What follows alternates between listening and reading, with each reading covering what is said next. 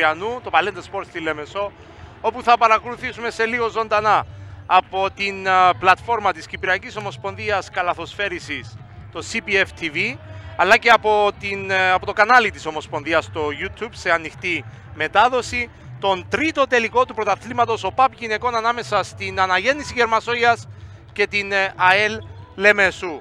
Στο Jumble η Smith από πλευράς ΑΕΛ και η Τσενακλίεβα από πλευράς Αναγέννησης Γερμασόγειας. Όλα έτοιμα για το Jumble.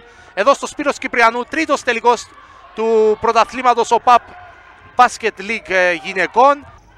Κλείνεται, καλή άμυνα από την ε, ΑΕΛ.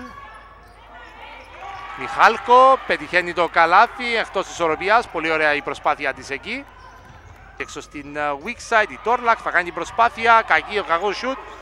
Προλαβαίνει στο τέλος των 24 η Αγέννηση και θα πάρει και επιθετικό rebound. Τσακλίεβα, Τόρλακ για τρεις μέσα. Καλάθι τριών πόντων από την ε, Μέζρα Τόρλακ.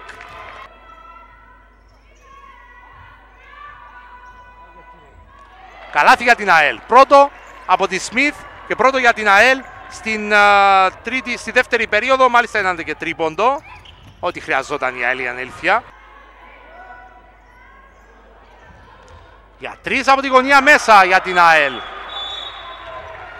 Το καλάθι πέτυχε η Ελένη Μαυρουδή και αμέσως time out από τον Ηρακλή Πιτάκα βλέποντας την ΑΕΛ έτσι να κάνει ένα γρήγορο σερί 6-0 με 2 τρίποντα. Το 32-11 έγινε 32-17.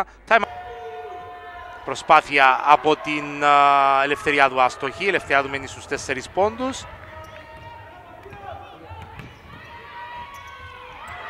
Καλάθι από την Ελένη Μαυρουδή που φτάνει τους 10. Είναι η δεύτερη σκόρερ της ομάδας της.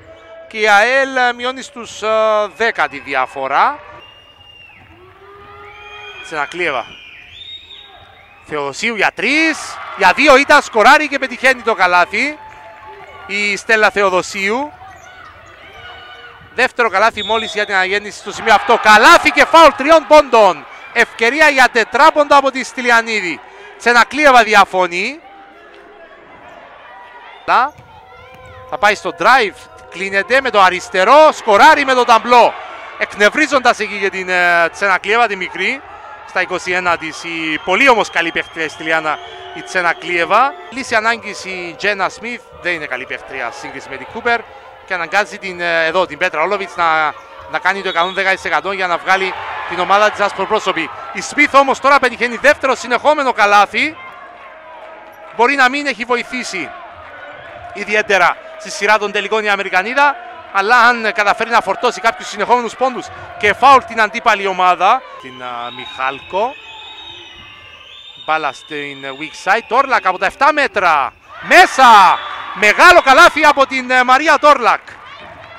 15 πόντους, 6 rebound, 7 assist για την uh, Κύπρια καλαθοσφαιρίστρια. Κοιτάξτε εδώ από πού σκόραρε, από το σπίτι σχεδόν.